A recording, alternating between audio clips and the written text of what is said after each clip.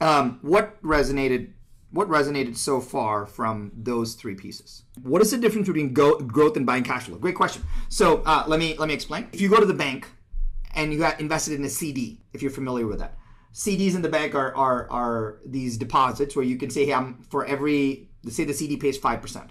I put hundred dollars down in the CD. They lock it up for six months. That's the that's the liquidity. And for that six months, they pay you five dollars, right? Of the hundred dollars, that's five percent. And at the end of the six months, I just get my hundred dollars back. So I get my principal back, and I get the I get the cash flow along the way. That's buying cash flow. A lot of real estate investments are very centered around buying cash flow. You put a hundred thousand dollars into an apartment building like that. Alex and Leila and I are investing right now. Put a hundred, and then you get cash flow six, seven, eight, nine, ten percent over every year that you're a part of it. And then at the end, they give you $100,000 back because that was the loan they took.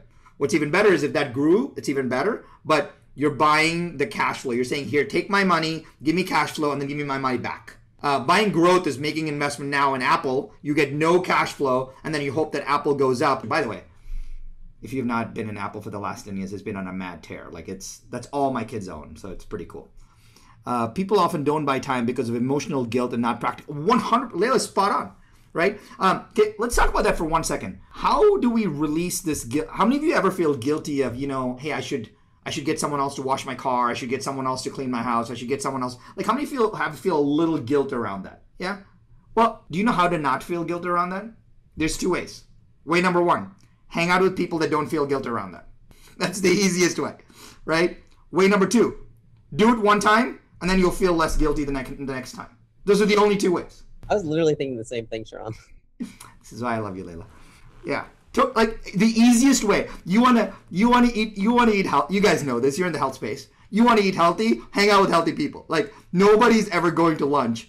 Nobody's ever going to dinner with Alex and Leila and not getting dessert. You know that.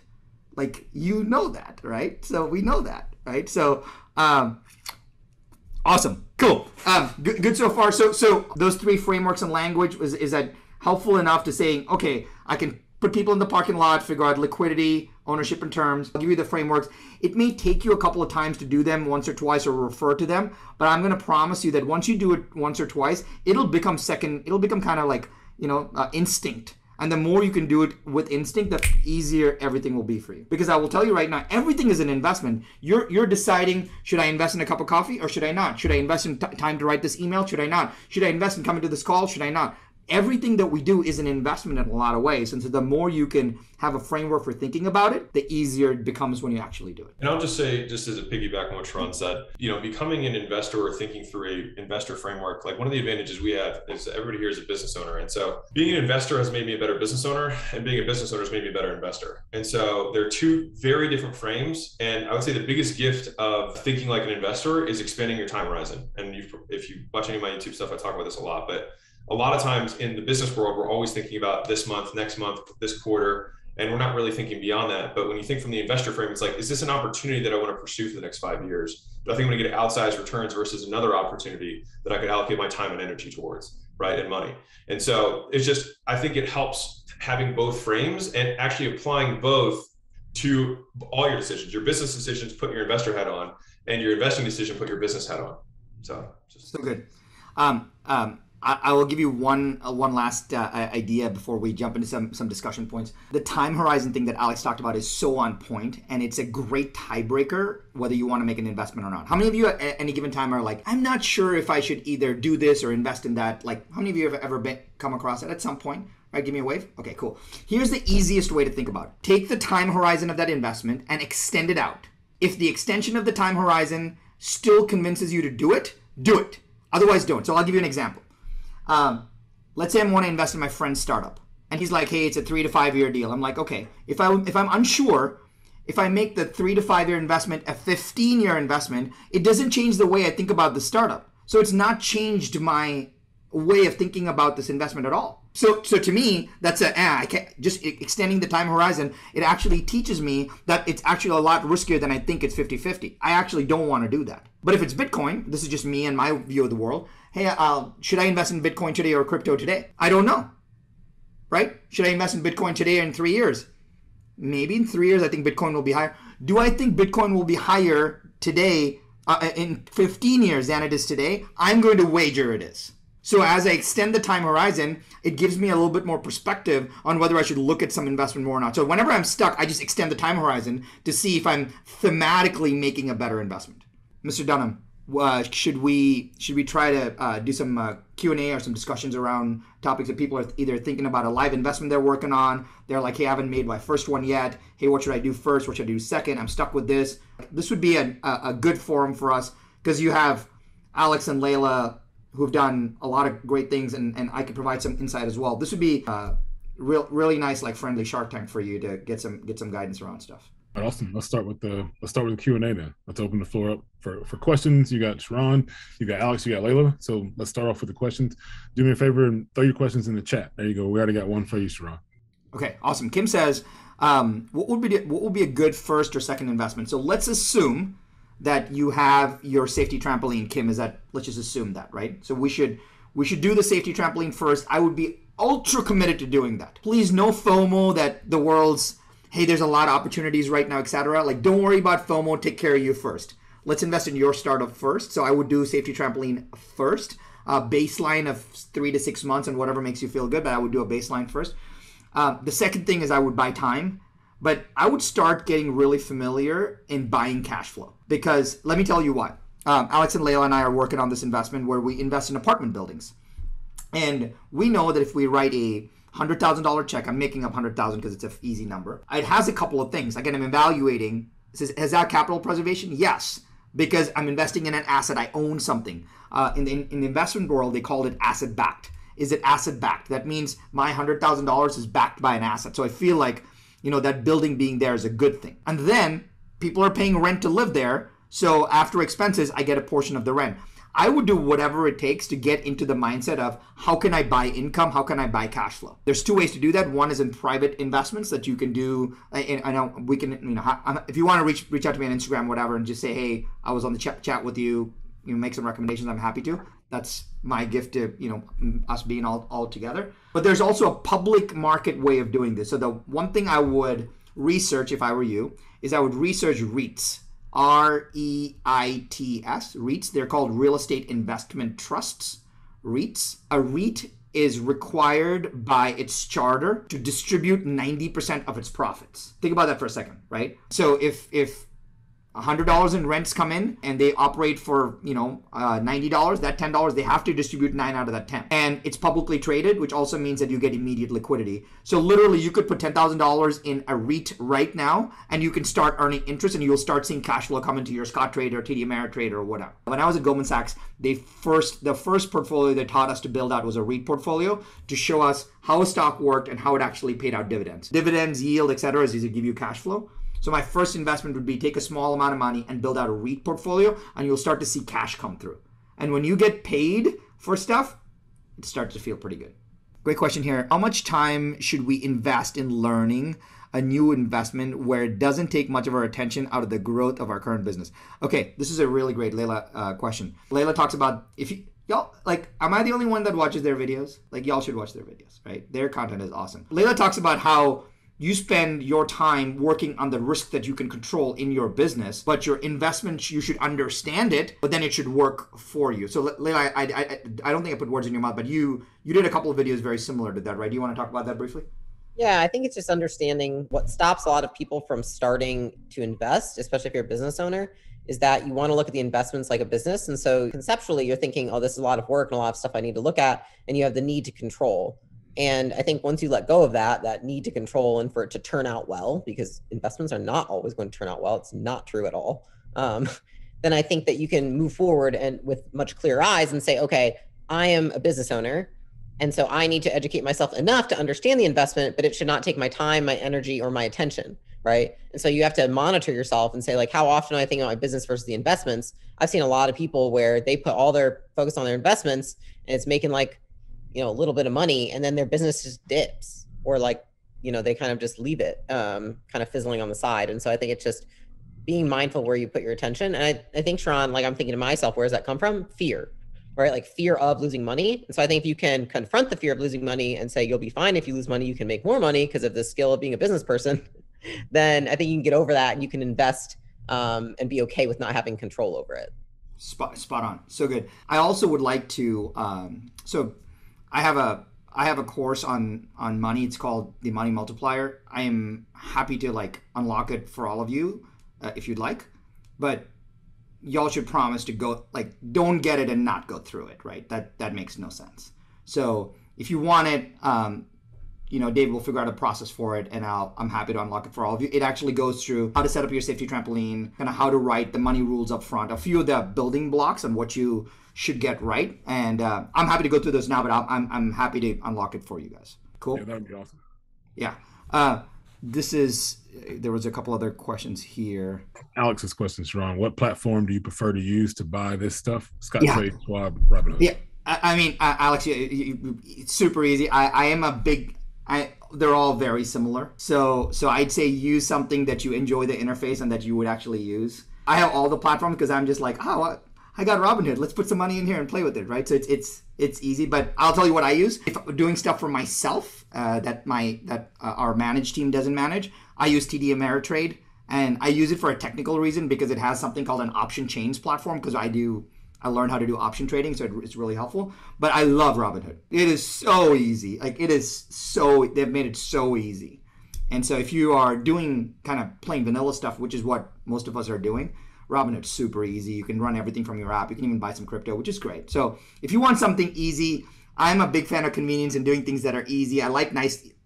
It's weird. I know that when you have a nicer interface, you end up looking at it more. It seems really weird, but the the elegance of how you uh, interact with something seems to be important to people. It's important to me. So I would use a simple, easy platform. I use TD Ameritrade and Robinhood, uh, but don't overthink this. If you have not been using any platform, I would just start on Robinhood because it's super easy. It's probably one of the number one questions I get from people who are like about to take the first step. Um, and just for everyone, if you want to take a first step that's zero risk, just put money into one of those things. You don't have to buy anything yet, but just the fact that it's there will like you don't have to put it in and then do something. It's like just get it in there and then you'll have the ability to do it when you, you know, get the courage. Yeah, uh, think about this. Uh, uh, you know, a lot of many of you are just you know entrepreneurs, marketers, right? If there's a Facebook ad spend, whatever, what what do we do? It's the same as investments. You test, you invest, and then you scale, right? Just use the test, invest, scale methodology in this as well. You, if you want to buy Apple or a new platform, you put hundred dollars in the stock, you see how it works, you see it being moving, you're like, cool, I like it, it's working. I see my, and now I'll do more. And then if that's working, do more. But you don't need to go in with a big slug like we are we live in a world where you can test and invest very quickly you get a lot of mechanical confidence from from doing stuff so a lot of people when people tell me they want to get into crypto how many of you are in crypto right now i'm just ultra curious anyone in crypto about half the group yeah if you're if you're not in crypto my suggestion would be you should get a coinbase account and you should buy like hundred dollars of something. Just go through the process of doing that because just doing that with mechan- the mechanical confidence will dramatically increase your language. It'll increase your framework. It'll increase everything. So when you get mechanical confidence on stuff, investing becomes investing is a lot of just mechanical confidence. Alex and Leila and I will go. We'll talk about like contractual terms, and the only reason it doesn't scare me is because I've seen so I've seen contractual terms for 15 plus years. I have so much mechanical confidence with these contractual terms that it doesn't scare me anymore. But when someone sees the first lawsuit that they ever get into or the first agreement that they ever get into, it scares them and they lean on counsel a lot, right? So my offer would be as you're getting into this stuff, I would buy one or buy something small. Just get in, get some mechanical confidence associated with it. Question here was, what is the best REIT to invest in? Lindsay, I don't. Um, I built out a little portfolio. What you can do if you don't, if you if you want to know, just uh, DM me on Instagram and just and then I'll I'll I'll pick the three or four names that I currently have and I'll just tell you what they are, and then you can choose to you can choose to you know kind of do research on that if you'd like. Is that cool? Awesome. Question from Kim. Would you would you have 12 months of personal safety trampoline and 12 months of business expenses or the same thing? Just worry about the personal. I would uh, let's take care of your personal take home lifestyle first, right? Alex, would you agree with that? Yeah. The, uh, the business stuff you'll figure out. Like I want a if all if hell, world goes to hell in handbasket, what do we do, right? Like I want you to feel good about that.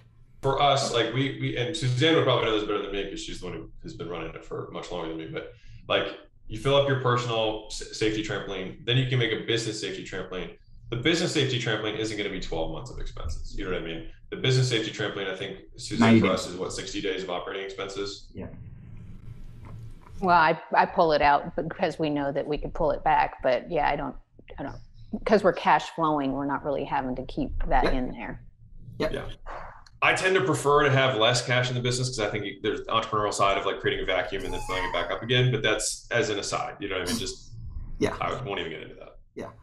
Um, the other thing also is just just a suggestion if you don't have this yet. How many of you currently have like a banking relationship where you know the banker and you can go into the office and actually talk to the banker? Like, give me a wave. Okay. My offer to you would be you should have a banker. And let me tell you why. I would much rather you go in now over the next few months and start to tell the banker, hey, this is our business. This is what we do. We cash flow this way. Uh, if we were to, I would ask for, if, if we were to get a business line of credit, how would it work? And I would establish that now before you need it. You don't even have to utilize it. Uh, the easiest way to get a business line of credit is to go into a, a, a physical location. You want a banker. I will tell you that. Bank. It is so much easier to talk to somebody for something like this because otherwise you get stuck in the Bank of America phone tree. But if you have a local office, I would go and I would, they will go to bat for you. It is mind blowing how much they would support you, and uh, you can manufacture your uh, business safety trampoline just with a couple of visits to the local bank because they'll just give you a 30 days line of credit. And we should all just have that relationship. They'll say, "Hey, when you get up to X, we can give you X, Y." Cool, and they'll and you want that. I, how many of you would feel happy if you knew that you had a hundred grand that you could draw from the bank at some point? Like, how many of you would feel happy if you did that? I, you, I'm telling you, that is well within reach for you. I would just go have that conversation with the banker and say, "Would you like to see our P&L? What would it take to?" And just work through the process. I, this instead of you putting away the safety trampoline uh, for you on the business side, just have the just manufacture it from the bank. Business lines of credit from the bank are just one of the greatest reasons to live in America. Like we are so small business friendly, so so take advantage to take advantage of that. If you don't have that, that would be like my favorite takeaway for today because literally it's gonna it's gonna give you peace of mind in how you can run and operate your business. Right? Cool. I just want to say thank you, Sharran, like for your time first and foremost. Um, and then number two, like I have a two-part question. If you're cool with that, um, the first one is, what do you believe in today's purchasing power, a million dollars will be worth in 10 years? And then based off that, how does that affect the way that, that somebody that's maybe 30 years old and you know, obviously based off your age, but like, am I supposed to see investing different based off what the last hundred years got people wealthy? Like, how does that uh, how does that work? Yeah, great question. Uh, question number one: We in the last 24 months live in completely different times because of so much liquidity, so much money being inserted in the economy. Uh, we don't have to go into macroeconomics, but literally, since there's more money, the value of money is a little less, right? Purchasing power is a little less, which means inflation's coming. That's all that inflation means. Your, your money can buy a little less. Very simple. Whenever inflation is coming, the, you can you guys can read and research this, which I would offer that you do. The easiest way to combat inflation is to buy hard assets, which means real estate, commodities, crypto. If you if you notice, they said, "Oh, Home Depot lumber prices are up." Why? They're hard assets, right? So people are they would much rather to do to do that. Uh, there's an inflation train that is coming that is much bigger than all of us ever thought. So I would say over the next three to five years, um, here's my view on the world, Jacob, on what I love I'd love to invest in and what I am investing in. Uh, I'm investing in hard assets, which is like real estate. Real estate now more than ever. And how can I get the most expensive piece of real estate, like an apartment building or a big commercial building, etc. If I can get a piece of that, that would be really good because it's a hard asset. The second is I love crypto right now because it's not pegged to cash, and I'd much rather be in that.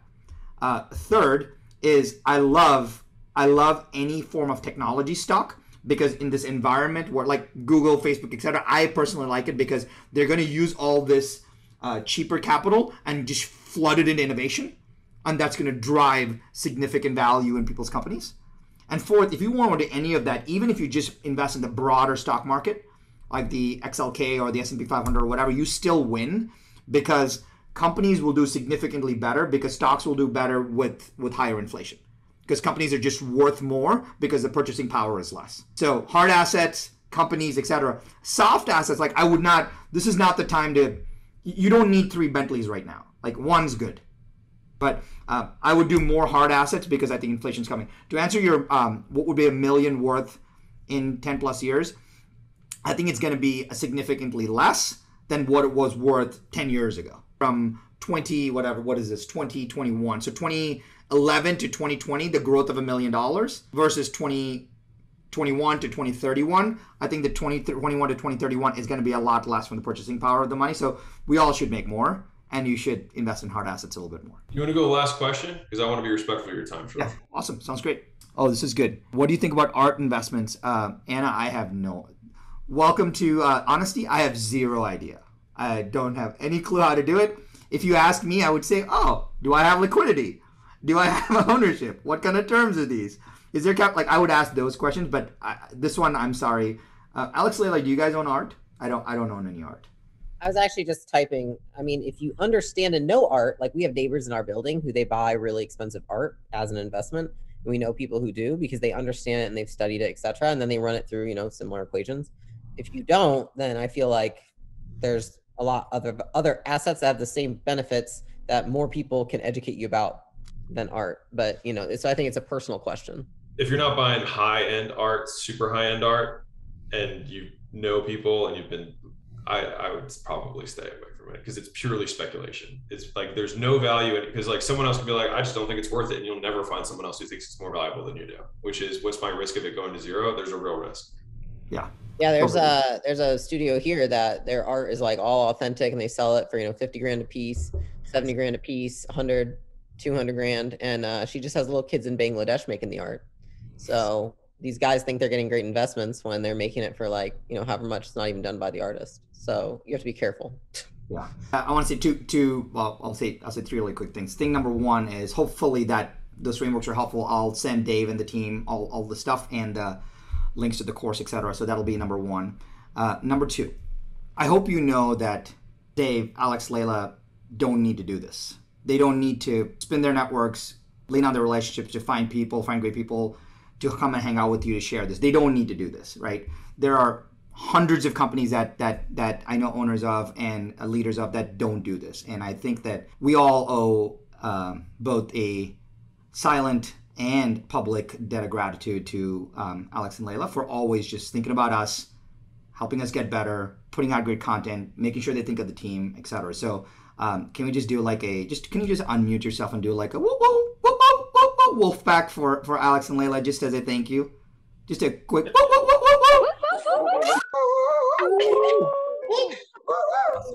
Awesome, awesome.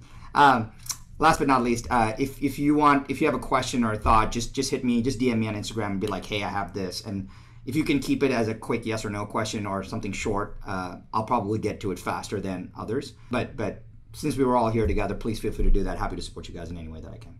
Thank awesome. you so much, Sharran, for uh, for taking the time. Hopefully, guys, those are the those are the frameworks that Leila and I uh, learned from Sharran, and we apply those to you know all the things that we think through. And trying to keep it simple is is always the goal. Anyone who makes it feel like it's overly complicated, I'll just run the other way. And so uh, it's usually was it like any any fool can make something complex, but a master makes it simple. And so I think Sharran is a is a wonderful example of that. And, and we've learned a tremendous amount, and we're very grateful. So can we get a can we get some ones in the chat real quick for Sharran for like I, he does not need to do this, um, and he did it for you guys because uh, he just wants to help. Awesome, super cool. Lots of ones. Awesome. Thank you guys. Thank you, Sharran. You're awesome. phenomenal. Appreciate you, you guys. You guys have a good rest of your Thursday. Awesome. Thank you guys. Have a good one. Talk soon.